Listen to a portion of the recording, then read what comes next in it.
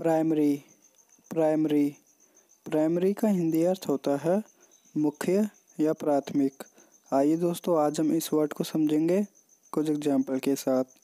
Number एक और primary concern must be the children इसका हिंदी अर्थ होता है हमारी प्राथमिक चिंता बच्चे होने चाहिए।